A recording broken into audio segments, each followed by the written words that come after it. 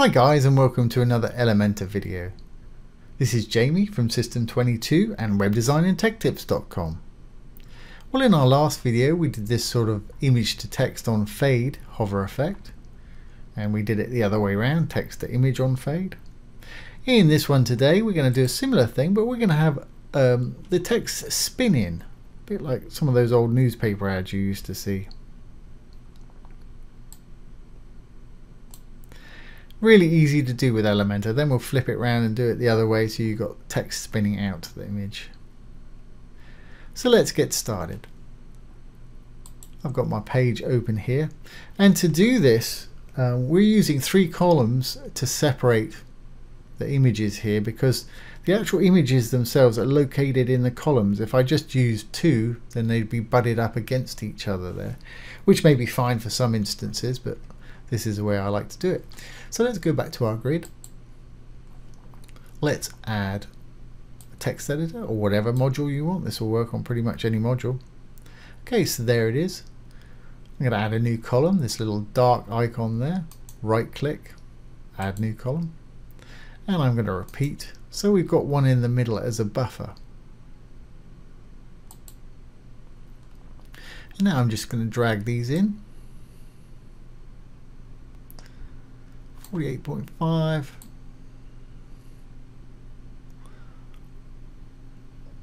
there we go. So we got that little buffer in between our two there.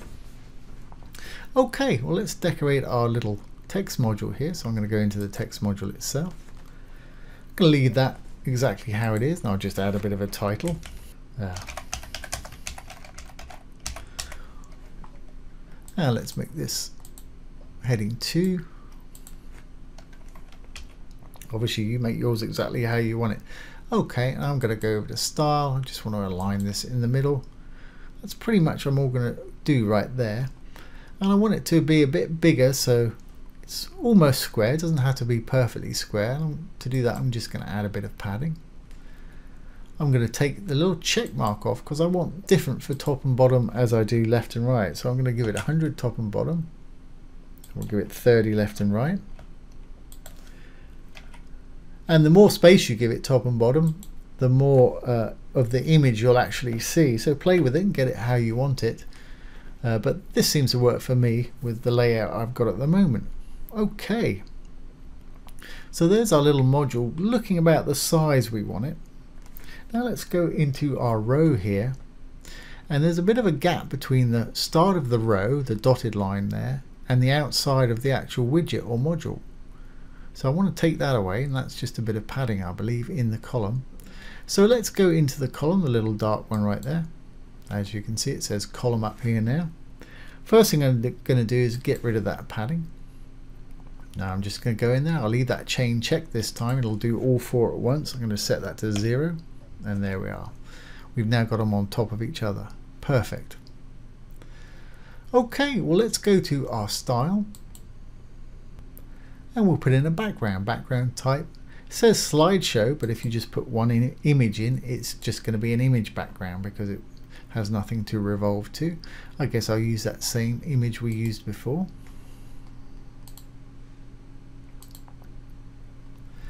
There we go and as you can see our column's got that nice image in the background. And our text module on top has just got text in it. Now I need to go back to our text module now and change the color of this text so we can actually see it. So let's do that.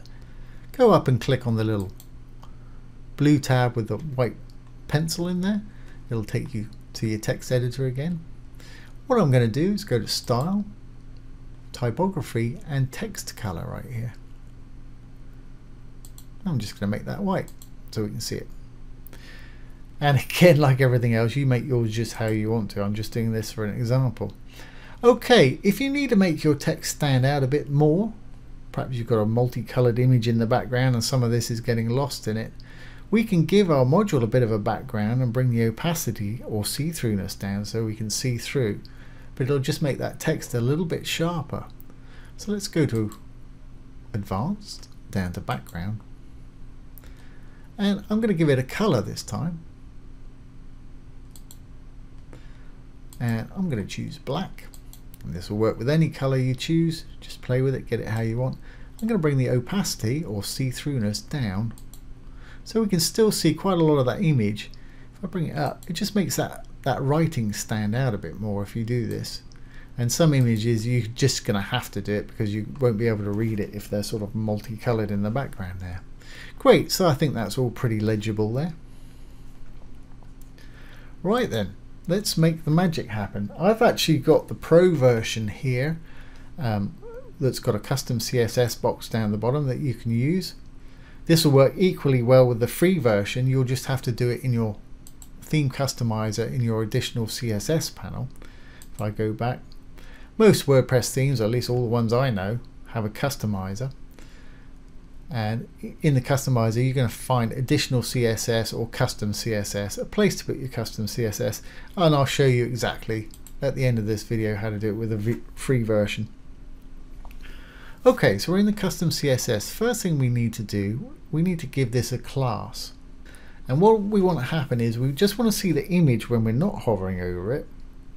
Then when we hover over it we want the, the text to spin in so I'm going to go to advanced here. We're still on the advanced tab, advanced at the top. So I'm going to give it the class of TXS for text spin. Okay, you can call yours anything you want, just make it something that you'll recognize and something that's unique. Now we can go back down to our custom CSS. So all classes have to have a dot, so it's dot or period. TXS for text spin. Open and close some curly brackets. And don't worry about copying this while I'm doing it. I'll put any CSS I write today under the video. You're welcome to copy it and use it if you wish. Okay, what do we want it to do? Well, when we're not hovering, which is this one at the moment, we want it not to be there. So let's make it transparent. We do that with opacity, O-P-A-C-I-T-Y, colon, zero. It should disappear as soon as I put the zero in. Yep.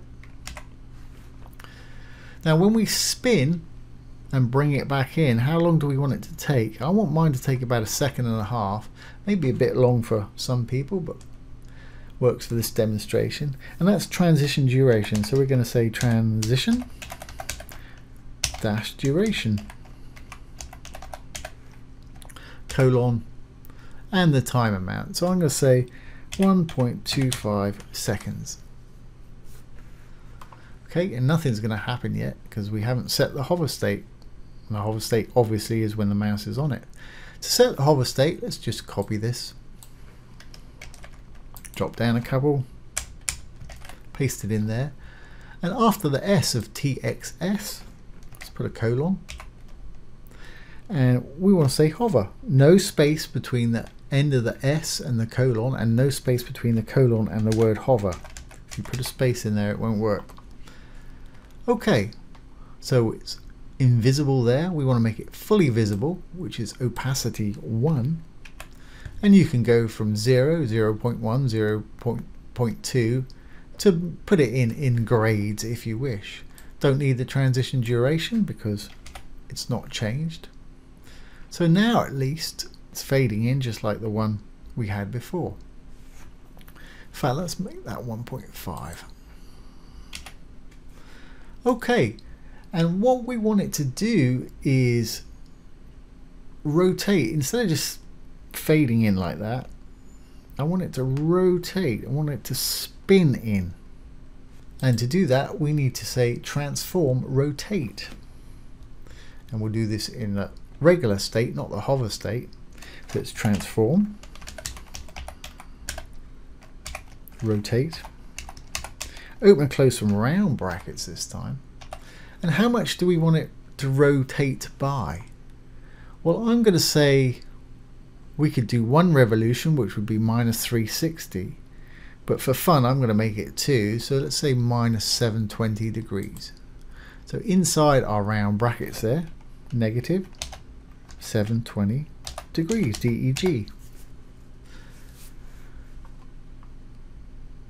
And uh, nothing's happening because we haven't told it to rotate to zero degrees on the hover. So we can just simply copy this, drop down. Now it's going to rotate in, but let's set that to zero or else it won't rotate in. Zero degrees, which is right side up basically. And we're going to have one little problem. And when I hover over it, you're going to see that little problem. There we go. Now you see it's spinning in there, which is fine, just what we want it to do. But when it's spinning, we've got the corners sort of spilling out of this square here. I really don't want that. So we can write another little bit of code to stop that happening. We need to apply the code to the column itself. So let's go into the column, little black icon up there, column at the top. And again, let's go to our advanced. Okay, I'm going to create a class of OHD, which will say is overflow hidden. Now we actually have to write that custom CSS now. So if we go down to our custom CSS box, we can simply put the class name dot ohd for overflow hidden. And again, you call yours whatever you want, just as long as you know what it is. Open and close some curly brackets. Inside, we're going to write overflow, funnily enough, colon hidden semicolon. Now when I hover over it, those corners should not spill out of the column there. There we go. It's staying within the column itself, which is what I want. Great. So how easy was that? Now, obviously you can reverse it and do, do the opposite. You can have the text there first, and then when you hover over it, you can have it spin out to the image. So let's do that. Let's go into this next door column. What I'll do is I'll copy this module right here, I'll duplicate it. Just simply go up to the top, right click, hit duplicate. Pull one of them, it doesn't matter which one, over to your next column there. So we've got something in there now. Now this one, we need to put an image in our background there. Take away the background, sort out the padding just like we did on the other one Let's go into the column first. I'm going to go over to advanced. While I'm in here, let's get rid of the padding, same as we did on the other one, so the image is filling out the whole of the column. I want to give it that same class of over, overflow hidden, OHD, or whatever you've called yours. So if we go into our little text module here, you'll notice it's got the same custom CSS as our first one. So this TXS for text spinning. Let's do IMS for image spinning. I'm just changing the first two letters to IM and you can change yours to what you want. Now obviously we need to change the class up here as well in our advanced IMS. Now we just need to tweak our CSS to get it all around the right way. And if we think about what we want here, I want to see the, the text like the one above. So I want to see the text. And then when we dehover, we want to see the image. There's no image in there yet. So let's go into our row, put an image in our column there. Down to image. Now I use my little parrot that I've been using, a little fella right there. There he is. And again, it's our column's already got that overflow class, OHD. So anything with OHD is not going to show overflow, so that's working fine. So we just need to go back in now to our little module right here. And we need to flip the CSS a little bit. So we want our text to be visible initially when we're not hovering over it it wants to be invisible when it spins out.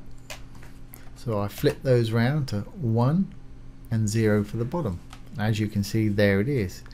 Now I don't want to see that image, so we can give this a colored background. There's the background right there. And I'll just give it a plain white background, which is the same as the, the site background here. Now it's white writing on a white background, so that's not much good. So what we need to do is go into style and change the color of that writing text color to something that we can see. There we go. Now when we hover over it, as you can see, it spins out and our image is visible. So it's kind of the opposite of this one right here. And those are some great little effects. Let's save our changes. And preview. Go on down to where we were. Here we are. There's the text spin in. And here's the text spin out. Really easy to do and they're great little effects to have on your site. If somebody mouses over that, that's going to get their eyes on it immediately. And as you've seen, it's pretty easy to do. And Elementor is such a great program. So I hope you've enjoyed that and found it useful. If you have, please ring the bell, give it a thumbs up, comment, share and subscribe to our YouTube channel. Once again, this has been Jamie with System22 and webdesignandtechtips.com. Thanks for watching. Have a great day.